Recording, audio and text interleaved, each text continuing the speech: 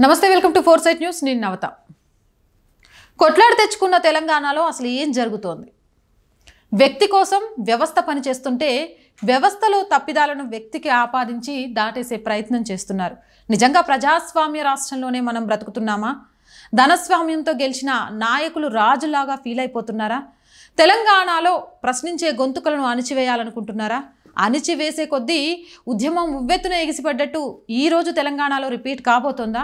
తెలంగాణలో అనేక సమస్యలకు సంబంధించి ఒక రిటైర్డ్ అంటే వద్దు అనుకొని జాబ్ను వదిలేసిన ఒక కలెక్టర్గా అలాగే రాష్ట్రంలోని సమస్యల మీద పోరాడుతూ ఈ రాష్ట్రంలో ఏం జరుగుతుంది అని పూర్తిగా తెలిసిన ఒక వ్యక్తిని మీ ముందుకు తీసుకొచ్చాను. వ్యక్తిని కాదు వ్యవస్థలో మార్పు కోసం ప్రయత్నిస్తున్న ఒక శక్తి అని చెప్పుకోవచ్చు మనం. మీ అందరికీ అర్థమై ఉంటుంది. ఆకునూరు మురళి గారిని ఈరోజు మన స్టూడియోలో మనతో పాటు ఉంచాను. చాలా విషయాల్ని ఆయన ద్వారా మనం తెలుసుకుందాం. నమస్తే సార్. నమస్తే అమ్మా. ఎలా ఉన్నారు సార్? Okay okay. ఎందుకంటే తెలంగాణలో ఫస్ట్ ఎవరినైనా ప్రశ్నించే గొంతుకలని ఎలా ఉన్నారు అని అడగాలనిపిస్తుంది. ఎగ్జాక్ట్లీ అవును. ఎందుకు సార్? ప్రశ్నించే గొంతుకలు ఏమైపోతారో ఇవాళ మనిషిని రేపు చూస్తామా? ఇవాళ జరిగింది రేపు ఉంటుందా అనే పరిస్థితికి ఎందుకు వచ్చింది తెలంగాణ? అంటే ఇప్పుడు తెలంగాణని పరిపాలించే పాలకులు ఎవరైతే ఉన్నారో వాళ్ళకి అధికారంలో ఉండడం అనేది ఒక ఒక యాటిట్యూడ్ అయిపోయింది అది. అంటే మేము ఎట్టి పరిస్థితుల్లో కూడా అధికారంలో ఉండాలి. నేను ఒక్కనే కాదు నా కొడుకు ఉండాలి నా మనవడు ఉండాలి నా మనుమనుమలు కూడా ఉండాలి అనే ఒక యాటిట్యూడ్తోని ఈ ప్రజాస్వామ్యాన్ని అపహాస్యం చేస్తున్నారు టోటల్గా. అంటే డబ్బుని అవినీతి రూపంలో బాగా డబ్బుని అంటే మనం ఊహించలేనంత డబ్బుని కొన్ని వేల కోట్ల రూపాయలని చేజిక్కించుకొని వాటి ద్వారా పేద ప్రజలని కొనేసి వాళ్ళని మభ్యపెట్టి వాళ్ళతో అబద్ధాలు ఆడి మభ్యపెట్టి మసిబూసి మారడికాయ చేసి పదివేల రూపాయలు ఇచ్చేస్తే మేము గెలిచిపోతాము అనేది ఒకటి అవపోసన పట్టారు. పర్ఫెక్షన్ చేసుకుంటున్నారు వాళ్ళు. సో ఈ ప్రాసెస్లో ఇంకా మిగతా అన్నీ కూడా ఈ మధ్య కాలంలో మనకి పేపర్ లీకేజ్ కావచ్చు పబ్లిక్ సర్వీస్ కమిషన్ది లేకపోతే కవిత కేసు కావచ్చు లేకపోతే వాళ్ళ యొక్క పరిపాలనలో ఉన్నటువంటి ఫెయిల్యూర్స్ కావచ్చు రకరకాలుగా దీంతో బెంబెలెత్తిపోతున్నారు. అంటే ఇంక మేము ఓడిపోతామనే భయం కూడా వాళ్ళ దాంట్లో కనబడుతుంది. సో దాని తాలూకే మనకి కనబడుతున్నటువంటి ఫ్రస్ట్రేషన్ ఆ ఫ్రస్ట్రేషన్ పోకడలు చాలా క్లియర్గా మనకి మన పాలకుల్లో కనబడుతున్నవి. అదే ఇప్పుడు మనం చూస్తున్నది అంతా కూడా. రైట్ ఎలాగో కవిత ఇష్యూ వచ్చింది కాబట్టి. అసలు కవిత లిక్కర్ స్కామ్కి తెలంగాణకి ఏం సంబంధం సార్? తెలంగాణ అంటే కవిత లిక్కర్ స్కామ్ గురించే మాట్లాడాలి. కవిత లిక్కర్ స్కామ్కి వెళ్తే తెలంగాణలో ఉన్న వాళ్ళందరూ ఢిల్లీ వెళ్ళి కూర్చోవాలి. వ్యక్తి మీద వచ్చిన ఆరోపణని ఈ వ్యవస్థ ఎందుకు ఎదుర్కోవాలి? అమ్మ మనకి ఇప్పుడు చాలామంది యువతులు చనిపోతున్నారు ఆత్మహత్య చేసుకుంటున్నారు. అవును. మహిళలు ఆత్మహత్య చేసుకుంటున్నారు. తర్వాత పోలీసు వాళ్ళు కొడితే లాకప్ డెత్తులు చచ్చిపోతున్నారు. చాలా ఇష్యూస్ ఉన్నాయి. కొన్ని లక్షల మంది నిరుద్యోగులకు సంబంధించిన ఇష్యూస్ ఉన్నాయి. మీరు జాగ్రత్తగా గమనిస్తే ఈ ఇష్యూస్ని క్యాబినెట్లో డిస్కస్ చేయరు. కానీ కవితని ఈడీ వాళ్ళు పిలిపించి ప్రశ్నిస్తున్నందుకు మాత్రమే అది కూడా. అవును. జస్ట్ ఆ థర్డ్ డిగ్రీ కాదు కొట్టడం కాదు లేదా టార్చర్ చేయడం కాదు ఏమీ కాదు. అవును. అరెస్ట్ కూడా కాదు. అంటే జస్ట్ పిలిచినంత మాత్రాన మీరు క్యాబినెట్లో దాన్ని ఎజెండాలో చేర్చి హ్మ్. క్యాబినెట్ మీటింగ్నే దాని గురించి పెట్టి సో అప్పటికి అప్పుడే ఒక ఇద్దరు మహిళా మంత్రుల్ని ఆమెతో పాటు ఢిల్లీకి పంపడము ఇంకొక మిగతా ముగ్గు ఇంకో ముగ్గురు మంత్రులు పంపడము. సో ఇప్పుడు లేటెస్ట్గా నిన్న నిన్ననేమో ఒక స్పెషల్ ఫ్లైట్లోనే మొత్తం ఎంటైర్ క్యాబినెట్ మంత్రులు వాళ్ళ పార్టీ వర్కర్సు పోయి మోహరిస్తున్నారు ఢిల్లీలో. అంటే వీళ్ళకు ప్రజలు ముఖ్యమా కుటుంబం ముఖ్యమా? అనేది చాలా క్లియర్ కనబడుతుంది. అంటే కుటుంబం గురించి వాళ్ళు ఏమైనా ఏమైనా చేస్తారు వాళ్ళు. అవును. ఇప్పుడు అక్కడ మనము కవిత గారు ఒక మహిళ అయి ఉండి మన మహిళలకి అన్యాయంగా అన్యాయం చేస్తున్నటువంటి మద్యం ఉందో మద్యం ద్వారానే కొన్ని లక్షల మంది మహిళలు ప్రతి సంవత్సరం చనిపో భర్తలు చనిపోయి వితంతులు అవుతున్నారు. అవును. అత్యాచారాలకు కూడా తెలంగాణలో ఎక్కువ అదే కారణం. అదే కారణము. సో ఈ మధ్యకాలంలో డ్రగ్స్ కూడా వచ్చినవి. అవును. మరి కవిత గారు ఇంకా నెక్స్ట్ నెక్స్ట్ ఆమె స్టెప్ డ్రగ్స్ పోతుందేమో నాకు తెలియదు. సో బట్ మద్యం తీసుకున్నది అంటే అందులో ఈజీ ఇన్కము సో అంటే ఒక విలువలకి నాకు సంబంధం లేదు. సో నేను ఎక్కువ డబ్బు సంపాదించుకున్న మార్గం నాకు ఇదే. సో దీంట్లో ఎక్కువ అవినీతికి అవకాశం ఉంటుంది దీంట్లో ఎక్కువ లాభాలకు అవకాశం ఉంటుంది అనే ఉద్దేశంతో అలాంటి ఒక చేయగూడని వ్యాపారం చేసి దాంట్లో రెడ్ హ్యాండెడ్గా దొరికిపోయి సో ఈరోజు ఒక కాన్స్టిట్యూషనల్ బాడీ మనకి ఎన్ఫోర్స్మెంట్ డైరెక్టరేట్ వాళ్ళు పిలిపిస్తే సో నేను ముఖ్యమంత్రి కూతుర్ని కాబట్టి నేను ఎమ్మెల్సీని కాబట్టి మీరు నన్ను క్వశ్చన్ చేయొద్దు. అనే ఒక ఆలోచన విధానాన్ని ముందు పెడుతున్నారు వీళ్ళందరూ కూడా. అంటే ఎంత దుర్మార్గం చూడమ్మా. సో నిన్నటి కాక మొన్న కాదిర్ ఖాన్ కొట్టి కొట్టి కొట్టి కిడ్నీస్ పాడేసి చంపేశారు. దాని గురించి క్యాబినెట్లో మాట్లాడరు దాని గురించి రివ్యూ చేయరు దాని గురించి కనీసం పోలీసు వాళ్ళని కూడా అడగరు కనీసం పోలీసు వాళ్ళని అరెస్ట్ కూడా చేయరు. ప్రీతి. ప్రీతి కేసులో కూడా అంతే.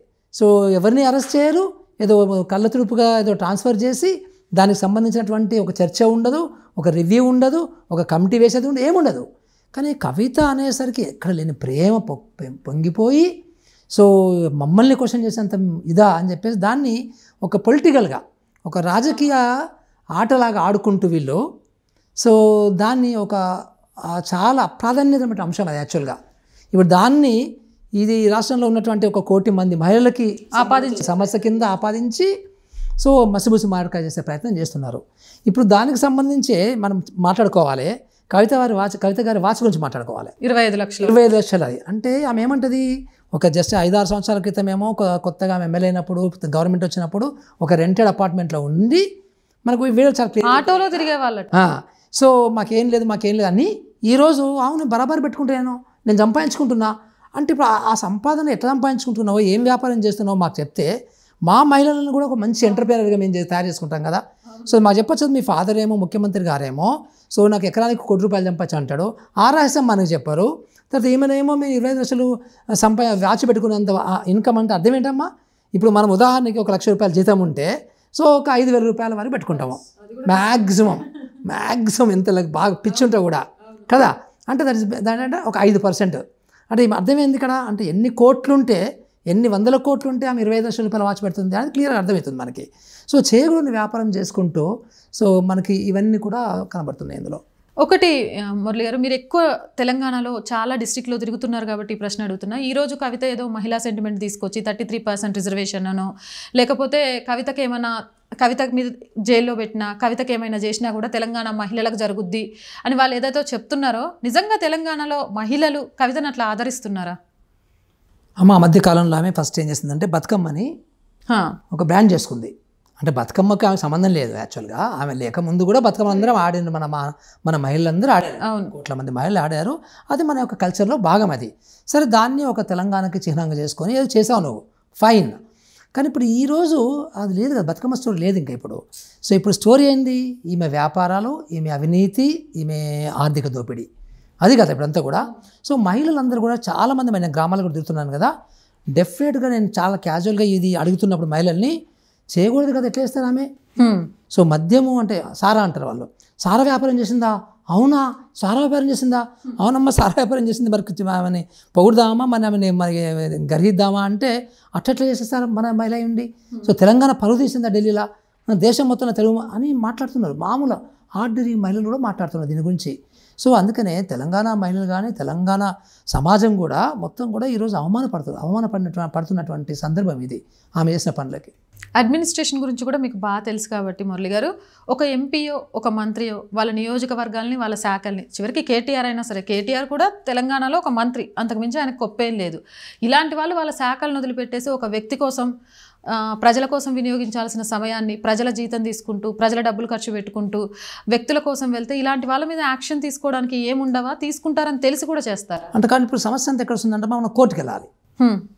ఇప్పుడు ఫస్ట్ ఏం చేయాలి మీరు? ఆర్టీఐ ఆర్టీఐ వేయాలి. అంటే ఈ నిన్న పోయారు కదా నిన్న ఫ్యామిలీ మొత్తం పోయింది వాళ్ళకి అందరూ పోయారు స్పెషల్ ఫ్లైట్లో వెళ్ళారు. అంటే స్పెషల్ ఫ్లైట్లో వెళ్ళడం అంటే అది ఎంత ఇది? ఎంత సంపాదించి ఉండాలి? సంపాదన ఉండాలి అది. ఇప్పుడు అసలు ఆ డబ్బు గవర్నమెంట్ ఛార్జ్ చేస్తున్నారా? ఇది ఇది నుంచి పెట్టుకుంటున్నారా అనేది ఫస్ట్ మనము రైట్ టు ఇన్ఫర్మేషన్ యాక్ట్ ప్రకారం తీసుకోవాలి. తీసుకున్న తర్వాత ఒకవేళ అది గవర్నమెంట్ సొమ్ముతో వెళ్తే అప్పుడు మనం క్వశ్చన్ చేసిన వాళ్ళు ఏం ఆన్సర్ ఇవ్వరు. అప్పుడు కోర్టుకి వెళ్ళాలి కోర్టుకి వెళ్తే తప్పకుండా కోర్టు రికవరీ పెడుతుంది. సో మీరు పర్సనల్ లెవెల్ వెళ్ళారు కాబట్టి సో ఇది ఒప్పు అని చెప్పేసి కోర్టు చెప్తుంది డెఫినెట్ చెప్తుంది. కానీ ప్రాసెస్ సో మనం కూడా ఒక రెండు లక్షల రూపాయలు ఖర్చు పెట్టాలి దానికి. సో అడ్వకేట్లను ఎంగేజ్ చేయడం కావచ్చు లేకపోతే ఒక దానికి రెండు సంవత్సరాలు మూడు సంవత్సరాలు. ఇంకా వాళ్ళకి పవర్ ఎక్కువ ఉంటే అది ఎప్పటికీ బెంచ్ రాకుండా బెంచ్ మీదకి రాకుండా కూడా వాళ్ళ పవర్ని వాడుకొని సో లేదా వాళ్ళ కరప్షన్ వాడుకొని ఆ కేసును కూడా ఆపడానికి కూడా అవకాశం. అంటే ఇప్పుడు అంతా అధికారం ఉందని అహంతో జరుగుతున్నాయి అంటారు. అధికారము ప్లస్ డబ్బు రెండు ఉన్నాయి వాళ్ళ దగ్గర. ఒకటి ఉంటే కూడా కాదు రెండు ఉంటేనే ఇప్పుడు ఇంత చిన్న భిన్నం చేసే వ్యవస్థని వాళ్ళు నిర్మిస్తున్నారు కదా రెండు ఉన్నాయి వాళ్ళకి. కవిత కోసం ఒక వ్యవస్థ పనిచేస్తోంది. వ్యవస్థ కాదు తెలంగాణ ప్ర- ప్రభుత్వమే పనిచేస్తుంది. కానీ టీఎస్పిఎస్సి చాలా ఈజీగా కేటీఆర్ ఒక వ్యక్తి చేసిన తప్పుని వ్యవస్థ మీద వేస్తారా? నన్ను మా నాన్ని బదనాం చేస్తారా? నేను ప్రతి కంప్యూటర్ చూడాలా అని మాట్లాడుతున్నారు. అన్ని పేపర్లు లీకేజ్ అయిపోయి దరిదాపు యాభై లక్షల మంది నిరుద్యోగులు విద్యార్థుల జీవితం అంధకారంగా మారితే దాని గురించి ఒక్కరోజు కూడా వాళ్ళ వైపు నుంచి ప్రభుత్వం కనీసం క్షమాపణలు చెప్పడం కానీ వాళ్ళ వైపు నుంచి కానీ ఆలోచించకపోయి ఒక వ్యక్తికి ఆపాదించడాన్ని ఎలా చూడొచ్చు? ఫస్ట్ థింగ్ ఏంటంటమ్మా ఇప్పుడు మనకు రెండు వేల పద్నాలుగు నుంచి ప్రభుత్వం తెలంగాణ వచ్చింది కదా కొత్తగా. మీరు ముఖ్యమంత్రి ఉన్నారు ఈయన మంత్రి ఉన్నారు కదా. కేసీఆర్ మన కవిత కూడా రకరకాల కుటుంబం మొత్తం కూడా ప్రభుత్వంలోనే ఉంది. వీళ్ళు క్షమాపణ చెప్పాలంటే ఇప్పటి ఇప్పటివరకు వెయ్యి సార్లు క్షమాపణ చెప్పినటువంటి సందర్భం ఇది. Number one so number two ఇప్పుడు మీరు అడిగిన దీనికి అంటే Kavitha AP TPSC Telangana public service commission ఇప్పుడు మనము లాల్ బహదూర్ శాస్త్రి గారి ఉదంతం చెప్పుకోవాలి ఇక్కడ. లాల్ బహదూర్ శాస్త్రి గారు సో మనకి నైన్టీన్ సిక్స్టీస్లో అనుకుంటాను రైల్వే శాఖ మంత్రి ఉండేవాడు. సో ఉత్తరప్రదేశ్ బీహార్లో ఒక యాక్సిడెంట్ అయింది అక్కడ. యాక్సిడెంట్ అయితే ఆయన రిజైన్ చేశాడమ్మా. లాల్ బహదూర్ రైల్వే మినిస్టర్గా సెంట్రల్ మినిస్టర్ రిజైన్ చేశాడు ఆయన. ఇప్పుడు మరి ఆయన అన్నాడు ఎట్లా? నాదేం తప్పు? ఆ డ్రైవర్ తప్పు? అక్కడ స్టేషన్ మాస్టర్ తప్పు? అక్కడ కమ్యూనికేషన్ ఇన్ఛార్జ్ తప్పు అని అన్నాడు ఆయనే? కదా? అంటే అది కదా. ఒక స్టేట్స్మెన్ అంటే ఇప్పుడు ఇంత షేమ్లెస్గా నువ్వు cabinet minister first number one number two de facto chief minister అయిపోయి నువ్వు. అంటే ముఖ్యమంత్రి మీ ముఖ్యమంత్రి గారేమో మొత్తం దేశమంతా తిరుక్కుంటూ ఆయన బీఆర్ఎస్ పార్టీని విస్తరించుకునే ప్రయత్నం ఉన్నాడు మొత్తం గాలి వదిలేసిండు సో నీకు నెక్స్ట్ నీకు బాధ్యత ఉంటుంది కొడుకు కాబట్టి మొత్తం మంత్రులంతా నీ వైపే చూస్తున్నారు కాబట్టి ఇదే బాధ్యత. ఎందుకంటే నువ్వు ఆ బాధ్యతని మంచిగా పోషిస్తున్నావు కూడా. నువ్వు మస్తు ఎంజాయ్ చేస్తున్నావు నువ్వు. అందరు మంత్రులు మీ ఇంటికి వస్తారు సో అందరు మంత్రులు మా రామన్న గారు ముఖ్యమైన కాబోయే ముఖ్యమంత్రి అంటారు. సో నువ్వు నువ్వు జిల్లాలకు వెళ్తే నువ్వు విజిట్స్కి వెళ్తే మొత్తం అక్కడ ఉన్నటువంటి గొంతు ప్రశ్నించే గొంతుల్ని అరెస్ట్ చేస్తావు ముందే. అక్కడ ఒక మొత్తం ఒక పది కోట్ల రూపాయలు పెట్టి మొత్తం షో షాన్దార్ చేస్తావు. మొత్తం నువ్వు ఎంజాయ్ చేస్తున్నావు కదా. మరి ఇన్ని చేసుకుంటూ ఇది కాక మళ్ళీ మీరు జాగ్రత్తగా గమనిస్తే ఈ మీడియా కాన్ఫరెన్స్లు కూడా. అది ఏ శాఖ అయినా కానీ తెలంగాణకు సంబంధించిన ఇంపార్టెన్స్ ఉంటే పాజిటివ్ థింగ్ ఉంటే ఆయన తీసేసుకుంటాడు. ఆయన ముందుకు వస్తాడు ప్రెస్ ముందుకి. ఆయన వచ్చి ఇప్పుడు టెక్స్టైల్ పార్క్ అన్నాడు. టెక్స్టైల్ పార్క్ కింద సో మామూలుగా ఈ జౌలి శాఖ ఉంటుంది ఇక్కడ హ్యాండిక్రాఫ్ట్స్ మినిస్టర్ ఉంటారు. సారీ మనకి జౌలి శాఖ మంత్రి ఉంటారు ఇక్కడ. ఆయనకు పోవాలి క్రెడిట్ లేకపోతే ఆయన అన్న రావాలి ముందుకు రావాలి. లెక్క కదా రాడు.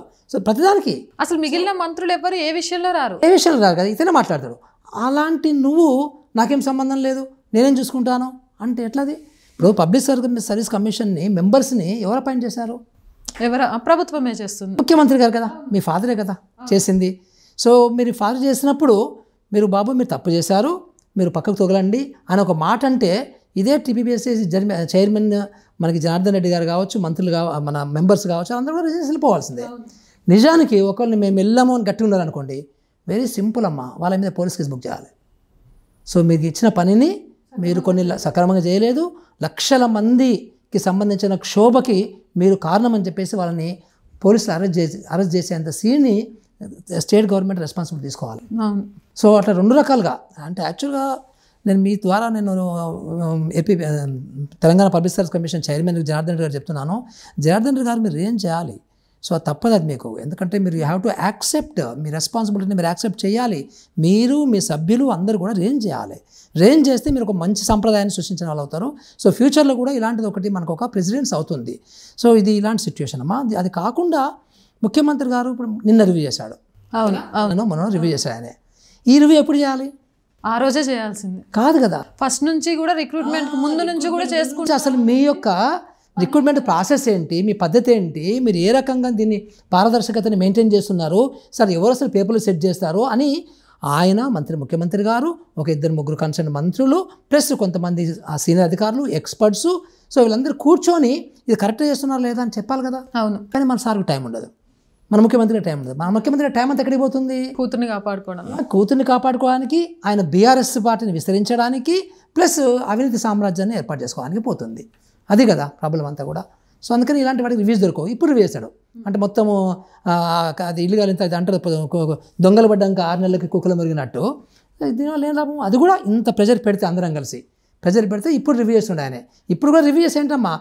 రివ్యూ చేసి ఏమైనా కాన్ఫిడెన్స్ ఇస్తున్నాడా? ఏవి విద్యార్థులకి కానీ నిరుద్యోగులకు కానీ కాన్ఫిడెన్స్ ఇస్తున్నాడా? నమ్మకం ఇస్తున్నాడా? అంటే అది కూడా లేదు. మళ్ళీ వాళ్ళే కంటిన్యూ చేస్తారట. పెట్టలేదు అనుకుండా పెట్టాడు. అంతే. మళ్ళీ వాళ్ళే కంటిన్యూ అవుతారు. మళ్ళీ అదే చైర్మన్ కంటిన్యూ అవుతాడు. మళ్ళీ అదే సభ్యులు కంటిన్యూ అవుతారు. మళ్ళీ అదే డిప్యూటీ సెక్రటరీలు అసిస్టెంట్ సెక్రటరీలు మొత్తం కంప్యూటర్ ఆపరేటర్లు మొత్తం అదే కంటిన్యూ అవుతారు. అంటే కేసీఆర్కి అలవాటే సార్. ఎందుకంటే అమ్నీషియా పబ్ కేసులో వక్ బోర్డు చైర్మన్ కొడుకుండే. ఆ రోజు వక్ బోర్డు చైర్మన్తో కూడా రాజీనామా చేయించలేకపోయాడు. అంటే ఒక ఆడపిల్ల మీద అత్యాచారం చేసినా లక్షల మంది జీవితాలు బయటకు వచ్చినా ఆయనకు రాజీనామా చేయించడం రాదు. ఎందుకంటే వాళ్ళని రాజీనామా చేయమంటే ఇన్ని తప్పులకు కారణం నువ్వు కదా అని ఎవరు అడుగుతారేమో అన్న భయం అనుకోవచ్చా? అంతే ఎగ్జాక్ట్లీ. మా ఇప్పుడు అతనికి ఏంటంటే ఫస్ట్ థింగ్ ఏంటంటే ప్రజలకు సంబంధించినటువంటి కష్టాలు కానీ సమస్యలు కానీ ప్రాణాలు కానీ మానాలు కానీ ఇవన్నీ కూడా సంబంధం లేదు ఆయనకి. ఆయనకి ఆయన పట్టించుకోడు. అంటే ఆయన ఆయన కూతురు ఆయన కుటుంబం అంతే దట్స్ ఇట్ ఇప్పుడు ఎవరన్నమ్మా తెలంగాణ నిజంగా కూడా పేదరికం మొత్తం పోయిన తర్వాత ఒక పెద్ద ప్రగతి భవన్ కట్టుకున్నావంటే ఐడియా ఉంది. ఒక ఒక యాక్సెప్టెన్స్ ఉంటుంది. అసలు ఎక్కడికక్కడ నువ్వేం చేయలేదు నువ్వు? సో కనీసం నువ్వు డబుల్ బెడ్రూమ్లు కట్టించలేదు నువ్వు. కనీసము పేదరికాన్ని కూడా నువ్వు రూపుమాపడానికి కనీసం ప్రణాళిక కూడా తయారు చేయలేదు. సో ఇప్పటికీ కూడా పాపం పేదవాళ్ళందరూ కూడా డొక్కాడక అన్నట్టుగా సో వాళ్ళు కష్టాల్లో ఉంటే నువ్వు అంత పెద్ద ప్రగతి భవన్ కట్టించుకొని ఎంత ఒక నాలుగు వందల యాభై కోట్లు ఐదు వందల కోట్ల రూపాయలు ప్రగతి భవన్ కట్టించుకొని నువ్వు అందులో ఉంటున్నావు అంటే హ్యాపీగా ఉంటున్నావు ఎవ్వరు రాకుండా. పెద్ద పెద్ద బార్కే. మంత్రులు కూడా రావద్దు. పాతకాలంలో ముఖ్యమంత్రులు ప్రతిరోజు ప్రత్- ఆ, కలిసేట వాళ్ళు జనాల్ని తమ రాజశేఖర రెడ్డి ఉన్నప్పుడు ప్రతిరోజు కలిసేవాడు. ఒక డెబ్బై ఎనభై మంది ఏడు నుంచి పది గంటల వరకు వాళ్ళకే కేటాయించాడు అది తెలుస్తుంది కదా వాళ్ళు ఏం మాట్లాడుతున్నారు? ఒక ఫీడ్బ్యాక్ కదా. అలాంటిది నువ్వు మంత్రులను గలవు ఎమ్మెల్యేలను గలవు అధికారులను గలవు ఐఏఎస్ అధికారులను గలవు మామూలు ప్రజలను గలవు ఎవరు గ్రాసుడ్ నీ పార్టీ కాడని గలవు అంటే ఈ రకమైనటువంటి నువ్వు పరిపాలన చేస్తున్నావంటే నీకు ప్రజల పట్ల నీకు ఎక్కడుంది నమ్మకము? ప్రజల పట్ల నీకు ఎక్కడుంది అది ఆ- ఆ నిబద్ధత ఎక్కడుంది నీకు? క్లియర్ కట్ తెలిసిపోతుంది కదా. సో అందుకనే మనకి ఇవన్నీ ఇప్పుడు ఆయన యొక్క ఇన్ఎఫిషియన్సీ వలన ఈరోజు మనకి ఇవన్నీ కనబడుతున్నాయి. ఒక్కొక్క ఫెయిల్యూర్ ఒక్కొక్క ఫెయిల్ కనబడుతున్నవి. అంటే చాలామందికి తెలియదు ఈ విషయం. అనుభవిస్తే అర్థమవుతుంది సార్ ఇప్పుడు. చాలా మందికి అసలు ఈ- మురళి సార్ ఎందుకు ఊరికి రివ్యూ చేయడం లేదు ముఖ్యమంత్రి గారు అంటారు మానిటరింగ్ చేయలేదు అంటాడు సమావేశాలు పెట్టలేదు అంటాడు ఎందుకు ముఖ్యమంత్రి ఎందుకు పెట్టుకోవాలి అధికారులు ఉన్నారు కదా అంటారు. కానీ సరిపోదు. ముఖ్యమంత్రి చేయాలి. నెలకి ఒకసారి మొత్తం మనకి ఇంపార్టెంట్ శాఖలమ్మ ఇరవై శాఖలు ఉంటాయమ్మా. ముఖ్యమైన శాఖలు. సో ఇరవై శాఖలకి కనీసము రోజుకి ముఖ్యమంత్రి అంటే రోజుకి కనీసము ఒక్కొక్క శాఖకి సంబంధించి తీసుకున్నా కానీ నెలలో మీకు ఇరవై రోజులు రోజు రెండు గంటలు చేయండి అంతే. చేస్తే ఏమవుతుందంటే మళ్ళీ నెక్స్ట్ మీటింగ్లో అడుగుతాం కాబట్టి అధికారులు పనిచేస్తారు కలెక్టర్లు పనిచేస్తారు సో గ్రాస్ రూట్ వాళ్ళు పనిచేస్తారు ఈరోజు ఎవరు ఎవరిని అడగటం లేదు. టోటల్గా గాలి వదిలేశారు పరిపాలనని సో దాని యొక్క ఇదే కాదిరిఖాన్ చనిపోవడము మరియమ్మ చనిపోవడము ఈ పేపర్ లీకేజీలు కావడము సో ఇప్పుడు ఈ కవితకు సంబంధించినటువంటి లిక్కర్ దందాలు కావడము ఇవన్నీ దీంట్లో భాగమే చెప్పుకోవచ్చు మనం. మురళి గారు తప్పు చేసింది నా కూతురు కొడుకైనా సరే ఖచ్చితంగా కూడా శిక్షిస్తానని చెప్పిన ముఖ్యమంత్రి ప్రగతి భవన్లో న్యాయ నిపుణులను పెట్టుకొని మంత్రులను పిలిపించుకొని మీరు వెళ్ళిపోండి అక్కడ ఏదో అవుతోందని వాళ్ళకి చెప్పుకుంటూ మినిట్ టు మినిట్ అప్డేట్స్ చూసుకుంటూ అసలు అప్పుడు చెప్పిన ముఖ్యమంత్రిని చూసిన జనాలు ఇప్పుడు చేస్తున్న పనుల ముఖ్యమంత్రిని చూసినాక ఏమనుకుంటారు? ఏమనుకుంటారు? తెలంగాణ శని అనుకుంటారు. శని పట్టింది తెలంగాణకు అనుకుంటారు. అంటే ఇంత దుర్మార్గపు పరిపాలన జరుగుతుంది. అయ్యో అయ్యో అయ్యో అందరూ బాధపడుతున్నారు. మేధావులు బాధపడుతున్నారు. అధికారులు మంచి అధికారులు బాధపడుతున్నారు. సో తెలివైన ప్రజలు కూడా బాధపడుతున్నారు. పాపము ఎక్కువ అవేర్నెస్ అయిన ప్రజలకు వాళ్ళకి మా బతికింతే అని చెప్పేసి వాళ్ళు అడ్జస్ట్ అయిపోతున్నారు. కదా? మీకు ఇంకొక విషయం అప్పుడు. దళిత ముఖ్యమంత్రిని చేస్తే నేను లేకపోతే నా మెడని కోసుకుంటా అన్నాడు కదా? అట్లా మెడని కోసుకుంటా అన్నవి ఒక నాలుగైదు సార్లు అన్నాడు ఆయన. యాక్చువల్గా అందులో ఒక్కటి కూడా చేయలే ఆయన. ఏ ఒక్కటి చేయలేదు అందులో. సో అంటే మనకి ఈ అబద్ధాలు అలవోకగా అల్కగా అంటాం తెలుగుల తెలంగాణలో. అల్కగా అబద్ధాడడం అనేది ఈయనకు వెన్నుతో పెట్టిన విద్య. సో దాంట్లో భాగంగానే ఇవన్నీ ఈ రకమైనటువంటి హెచ్చులు అంటారు కూడా. సో ఇట్లా హెచ్చులు మాట్లాడతాడు పట్టించుకోడు. తెలంగాణ పదమూడు వందల మంది విద్యార్థులు పదమూడు మంది వ్యక్తులు ఆత్మ బలిదానాల మీద ఏర్పరచుకున్న పీఠం అది. అంటే నాకు జరుగుతున్న పరిస్థితులను చూస్తుంటే ఇది ప్రజల నుంచి సోషల్ మీడియా నుంచి వస్తున్న ప్రశ్న ఏంటి అని అంటే ఆత్మ బలిదానాల మీద కుర్చీ వేసుకొని కూర్చుంటే చాలా సాఫీగా జాగిపోతుంది ఏం చేసినా ఎవడు అడిగేవాళ్ళు లేడు కాబట్టి. ఎన్ని బలిదానాలు అయితే మా సీట్ అంత గ్యారంటీ అనుకొని ఇంకా బలిదానాలు చేస్తున్నారా తెలంగాణలో? అంటే అమ్మ అప్పుడేమో మనం తెలంగాణ రావడం గురించి బలిదానాలు చేశారు పాపం యూత్. యువత అందరూ ఆత్మహత్యలు చేసుకున్నారు పాపం. శ్రీకాంత్ చారి హత్య అనేది మన అందరి కళ్ళల్లో ఉంది అట్లా. కదా? సో అప్పుడు పర్పస్ వేరు. ఇప్పుడేమో నిస్సహాయత. అయ్యో మాకు మేము అనుకున్నట్టుగా జరగటం లేదు కదా అని ఒక నిస్సహాయతతోని ఒక అసహాయతతోని ఒక బాగా కృంగదీసినటువంటి బాధతోని ఆత్మహత్యలు చేసుకుంటున్నారు. ఈ రెండు ఆత్మహత్యలు వేరే ఉంటుంది. అంటే ఇప్పుడు ఆయన ఇక బలిదానాలు కానీ రెండు ఆత్మహత్యల వల్ల మేలు పొందుతుంది మాత్రం ప్రభుత్వము అధికారంలో ఉన్న నాయకులే కదా. ప్రభుత్వం అంటే ప్రజలు కన్ఫ్యూజ్ అవుతారు. కేసీఆర్. ముఖ్యమంత్రి ముఖ్యమంత్రి కుటుంబం అండి మీరు ప్లీజ్. ఎందుకంటే ప్రభుత్వం అనగానే చాలా మంది కలెక్టర్ అనుకుంటారు. లేదు లేదు. చాలా మంది కమిషన్ ఐఏఎస్ ఆఫీసర్ అనుకుంటారు. అధికారులను ఇందులో అనలేము కూడా కొన్ని కొన్ని సందర్భాలలో. అనడానికి లేదు నువ్వు. డెఫినెట్ పాలసీ చేయరు. అధికారులు మీరు ఏం చెప్తే అది మేము ఇంప్లిమెంట్ చేస్తాము. అంతే. సో అంటే అది అంబే మన కాన్స్టిట్యున్సీ అనేది ఆ రకంగా ఎందుకంటే అది ప్రజాస్వామ్యం అంటే ఇంతే. ఎక్కడే అంతే. మీకు ప్రపంచం మొత్తంలో ప్రజాస్వామ్యం అంటేనే ఏంటంటే బేసికల్లీ పాలసీస్ అన్నీ కూడా అసెంబ్లీ చేస్తుంది క్యాబినెట్ చేస్తుంది. సో దాన్ని ఇంప్లిమెంట్ చేసే వాళ్ళే వీళ్ళు. కాకపోతే ఒక్కటి ఏంటంటే వితిన్ ది కాన్స్టిట్యూషన్ ఉందా లేదా అని కోర్టులు చూసుకుంటాయి సో ఒక్కొక్కసారి ధైర్యంగా ఉన్నటువంటి చీఫ్ సెక్రటరీ ధైర్యంగా ఉన్నటువంటి ప్రిన్సిపల్ సెక్రటరీలు ధైర్యంగా ఉన్నటువంటి కమిషనర్లు కూడా ఇది కాన్స్టిట్యూషన్ ప్రకారం లేకపోతే ఇంప్లిమెంట్ చేయాలని చెప్పొచ్చు. అంతవరకే. కొన్ని అలానే అనుకున్న రెండు విధాలా లాభపడుతుంది కేసీఆర్ కుటుంబమే. మరి అది ఎక్కడ అనిపించదా అసలు? ఉద్యమకారునని చెప్పుకున్నా ఏ ముఖం పెట్టుకొని మళ్ళీ జనాల్లోకి వెళ్తా జనాల యాక్స్ ఒప్పుకుంటారా? అసలు ఈ ఫీలింగ్సే ఉండవా అసలు? అదే అదే దురదృష్టం అమ్మ యాక్చువల్గా అంటే నేను ఉద్యమం నుంచి వచ్చిన మనిషి ఎట్లా ఉండాలంటే ఒక స్టేట్స్మెన్ లాగా ఉండాల్సి కదా ఒక అంటే మేలు ఒక జాతి పితలాగా ఒక తెలంగాణ పితలాగా తయారు కావాల్సింది ఉండే. కానీ నా ఆ మార్గాన్ని ఎంచుకోకుండా సో ఇట్లా షార్ట్ కట్ మెథడ్లా ఇంకోటి ఎంచుకున్నాడు. అంటే డబ్బులు తీసుకొని బాగా డబ్బులు సంపాదించుకొని సో అబద్ధాలు ఆడి సో అధికారులకి ఇంకెళ్ళిపోదామని అంది. కానీ బట్ ఈసారి నేను అనుకుంటాను తప్పకుండా ప్రజలు ఆలోచిస్తున్నారు. సో తప్పకుండా ఇప్పుడు ఇప్పుడు నిరుద్యోగులకి మండుతుంది. సో యూత్కి ఇప్పుడు ఎమ్మెల్సీ ఎలక్షన్ చెప్పుకోవచ్చు. ఉపాధ్యాయులే మారిపోయారంటే ఇంకా అంతకు పెద్ద వేరే చెప్పుకోవచ్చు ఆలోచిస్తున్నారు అదే అదేమవుతుందంటే ఇప్పుడు యూత్ అమ్మ మొత్తం కూడా దేశంలో కానీ రాష్ట్రంలో కానీ ఈ యువతనే ఆలోచిస్తేనే అందులో నుంచి మీకు విప్లవం పుడుతుంది. అది ప్రజాస్వామిక విప్లవం కావచ్చు లేదా ఇంకేనా విప్లవం కావచ్చు. సో ఇప్పుడు మనం ప్రజాస్వామిక విప్లవం గురించి మాట్లాడితే యూత్ ఏం చేస్తారంటే ఈవెన్ పెన్షనర్స్తో కూడా ఓట్లు ఏం చేస్తారు? అంటే ఎగనెస్ట్గా ఏం చేస్తారు? టీఆర్ఎస్కి. సో ఇప్పుడు అది నడుస్తుంది. ఇప్పుడు అది నడుస్తుంది. అనమాట సో డెఫినెట్గా ఈసారి బీఆర్ఎస్ అనేది ఓడిపోతుంది డెఫినెట్గా. నడుస్తుంది కాదు మురళి గారు. అంటే నేను ఒక టూ టూ అండ్ త్రీ ఇయర్స్లో నేను గమనించిన విషయాలు చెప్తాను. ప్రశాంతి అనే అమ్మాయి ఫీజ్ కోసం అమ్మ నాన్న అప్పు చేస్తుంటే తట్టుకోలేక సెల్ఫీ వీడియోతో ఉరేసుకొని విషయం చెప్పి చనిపోయింది. ఈ రోజు వరకు ఆ కుటుంబాన్ని ఏం ఆదుకున్నారో తెలియదు టిల్ ప్రశాంతి చనిపోయిన రోజు నుంచి ఇప్పటి వరకు కూడా స్కాలర్షిప్ ఫీజు రీఎంబర్స్మెంట్ లేదు. సునీల్ నాయక్ నా చావుకు పరిహారం వద్దు నాకు నిరుద్యోగులకు ఉద్యోగం ఇప్పటి వరకు ఒక్క నోటిఫికేషన్ కూడా సక్రమంగా పూర్తయిందే లేదు. లేటెస్ట్గా ఎస్ఐ కానిస్టేబుల్స్కి సంబంధించి మన స్టూడియోకి వచ్చారు పిల్లలు. వాళ్ళు సుప్రీంకోర్టులో కేసు వేయడానికి పోతే రాత్రికి రాత్రి వాళ్ళని మాయం చేసేసిండు ఒక అమ్మాయి వంద మందిని వదిలేస్తే చాలా ఆ- ఫ్యామిలీకి తనే అయ్యి ఏం చేయాలో అమ్మా నాన్నకు మొహం చూయించుకోలేక వెళ్ళే దారిలో చెరువులో దూకేసి ఆత్మహత్య చేసుకుంది. అసలు ఎందుకు చచ్చిపోతున్నా? మా కళల కోసం కదా ఈ తెలంగాణ తెచ్చుకుంది. కళలు కన్నది మేము. మా కళలను అనుభవిస్తుంది వాళ్ళు. ధనస్వామ్యం దేశాన్నే కొనగలిగే అంత డబ్బు సంపాదించుకున్నారు. ఆ ధనస్వామ్యంతో రేపు ఇంకేమైనా చేస్తే మా భవిష్యత్తు ఆగమైపోయింది. మా ముందు తరాల వాళ్ళ భవిష్యత్తు కూడా ఏంటి? అసలు ఈరోజు యువతలో వస్తున్న ప్రశ్నలకు సమాధానాలు లేకపోగా పోలీసులు ఎక్కడ ఎలా తీసుకెళ్తారో అర్థం కాకుండా బ్రతుకుతున్నారు. ఎక్కడున్నాం మనం? రాచరికంలో ఉన్నామా? లేకపోతే రజాకార్ల పాలనలో ఉన్నామా? నిజాం పాలనలో ఉన్నామా? ఎక్కడ బ్రతుకుతున్నాం? అమ్మ మనము నిజాం పాలనని బ్రిటిష్ పాలనని బాగా నెగిటివ్గా మనకు చరిత్రకాలు చిత్రీకరించి పెట్టింది కానీ నేను ఆర్కైవ్స్లో పనిచేశాను కదా. నిజాం పాలనలో కూడా పెన్షన్లు ఇచ్చారు మీకు తెలుసా? నిజాం పాలనలో కూడా ముస్లిమ్స్ అయి ఉండి ఉదాహరణకి మహంకాళ టెంపుల్ దానికి ల్యాండ్ ఎవరు ఇచ్చారు? నిజాం ఇచ్చాడు. అంటే నిజాంని నేను సపోర్ట్ చేయటం లేదు. డెఫినెట్గా అంతకంటే ఈయనకంటే ఆయన చాలా బెటర్ అని చెప్తున్నారు. చెప్తున్నా ఎగ్జాక్ట్లీ ఎందుకంటే అది అది ప్రజాస్వామ్యం కాదు అది రాచరికం. అయినా కానీ ఎంతో కొంత నీతి అయినా కానీ ఇంత వరుస లేదు నీకు. ఆయన చెరువులు కట్టించాడు. ఫర్ ఎగ్జాంపుల్ ఆయన ఆర్ట్స్ కాలేజ్ ఎవరు కట్టించారు? ఉస్మాన్ యూనివర్సిటీ కట్టించారు? మరి ఈయన వచ్చాక ఒక్క కొత్త యూనివర్సిటీ అంత అంత బాగా కట్టాడా? ఉస్మానియా మెడికల్ కాలేజ్ ఎవరు కట్టించారు? ఉస్మానియా హాస్పిటల్ ఎవరు కట్టించారు? ఇప్పటి వరకు హెల్మెట్లు పెట్టుకొని పనిచేస్తాను డాక్టర్లు. ఎగ్జాక్ట్లీ. అంటే మనము ఏదో వాళ్ళని చిత్రీకరించాం కానీ బట్ ఇతను కంపారిజన్ చేయకూడదు. వాళ్ళకంటే ఇంకా దుర్మార్గం. ఎక్కువ దుర్మార్గం ఇది. చాలా దుర్మార్గం. అమ్మ ఇది అంత ఇంత కాదు. ఇప్పుడు మీకు అంత కాదమ్మా చూడండి నేను చెప్తాను ఒక విషయము. ఇప్పుడు ఇంతమంది నిరుద్యోగులు ఉన్నారు. నువ్వు ఇంటికి ఒక ఉద్యోగం అన్నావు. ఇప్పుడు ఈరోజు చూస్తే ఇంటికి ఇద్దరు నిరుద్యోగులు ఉన్నారు. అంటే ఆ రకంగా అయిపోయింది ఇప్పుడు. సో ఇప్పుడు నువ్వు అసలు ప్రణాళిక ఏంటి?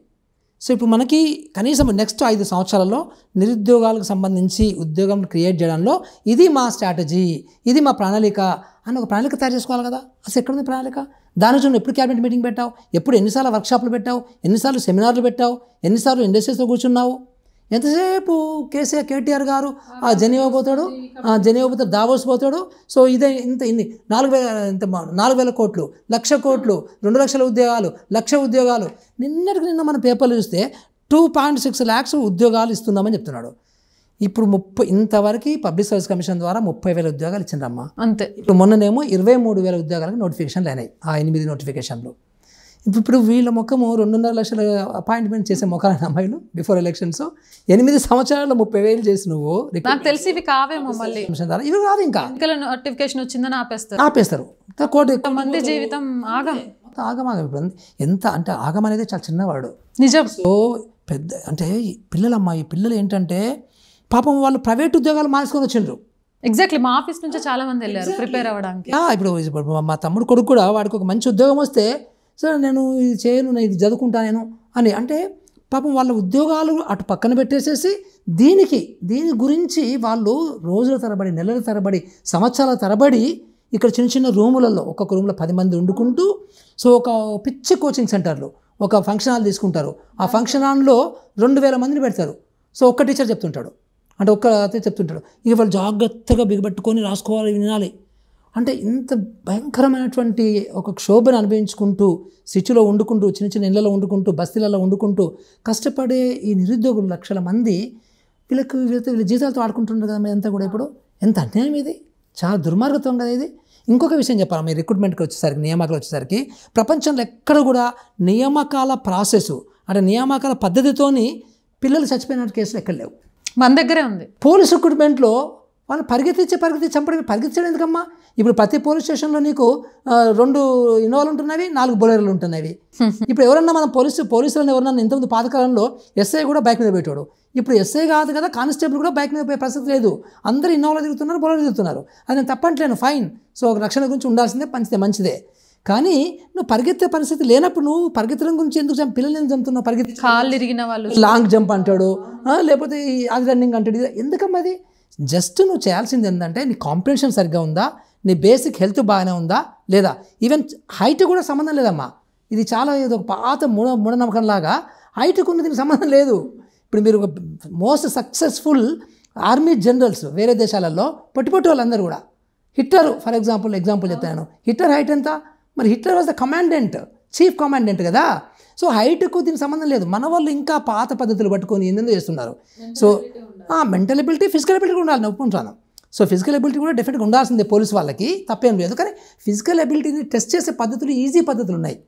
సో చెస్ట్ మెజర్మెంట్ కావచ్చు తెతని శ్వాసని సో ఎంతసేపు నువ్వు బిగబడుతున్నావు ఎంతసేపు నువ్వు వదులుతున్నావు ఇలాంటి కొన్ని ఉన్నాయి సింపుల్ సింపుల్ టెస్ట్లు దీనికి పాప అనవసరంగా పిల్లల్ని ప్రాక్టీస్ చేసి ప్రాక్టీస్ చేసి వాళ్ళు ఏమైనా అథ్లెట్స్ అవుతున్నారా? ఎందుకమ్మ వీళ్ళందరినీ ఇట్లా చంపుతున్నారు? ఉత్త పుణ్యానికి అంతకుముందు వంద కిలో వంద మీటర్ ఉంటే ఇప్పుడు ఎనిమిది వందల మీటర్ పరిగెత్తిస్తున్నారు. ఎనిమిది వందల మీటర్ పరిగెత్తిస్తున్నారు. ఎనిమిది వందల మీటర్ ఎందుకు పరిగెత్తాలి? ఎస్ఐ కానీ పోలీస్ కానిస్టేబుల్ కానీ అలాంటి పరిస్థితి నీకు ఎందుకు వస్తుంది? ఎందుకు అంటే తప్పించడానికి వాళ్ళు తగ్గించుకుంటూ రావడానికి క్యాండిడేట్స్ అంతే తప్ప అందులో మూర్ఖత్వం అంటాను మూర్ఖత్వం అంటాను. మరి మన మా ఐపీఎస్ సోదరులకు కూడా మరి ఎందుకు ఆలోచిస్తున్నారో నాకు అర్థం కావడంలే నువ్వు ఒకసారి జర్మనీకి వెళ్ళి జపాన్కి వెళ్ళి చూడు. సో రిక్రూట్మెంట్ పాస్ ఎట్లా అవుతుందో? ఈ రకంగా అయితే కాదు డెఫినెట్గా కదా? అంటే ఈ రకంగా నిరుద్యోగులను ఉసురు కొడుతుంది వీళ్ళకి. అందరికి నిరుద్యోగుల యొక్క కష్టాలను మనం అనుకుంటే అమ్మో ఎంత కష్టంగా ఉందమ్మా చాలా కష్టంగా ఉంది దేశంలో రాష్ట్రంలో. రైతులు బ్రతకలేరు. నిరుద్యోగులకు ఉద్యోగాలు లేవు. ఎదగాలి అనుకునే వాళ్ళకు దారులు లేవు. ప్రశ్నించే గొంతుకులను అణచివేస్తున్నాం. అయితే కొనేస్తాం. అమ్ముడు పోకపోతే అణిచేస్తాం. ప్రశ్నించే గొంతులను ఎలక్షన్లు దగ్గర పడుతున్న కొద్దీ అణచివేత ధోరణి అమ్ముడు పోకపోతే జరుగుతూ ఉంటే అసలు తెలంగాణలో ప్రశ్నించే గొంతుక మిగులుతుందా? మీడియా కూడా కేసీఆర్ కేటీఆర్ కనుసన్నల్లో నడవాలి అనుకునే వాళ్ళ బుద్ధిని వాళ్ళ తీరుని అసలు ఏ విధంగా చూడాలి? ప్రశ్నించే గొంతుకలకు ఏంటి ఎవరు సపోర్టు? ఎక్కడి నుంచి వాళ్ళకి ఎంతో కొంత ఆశ?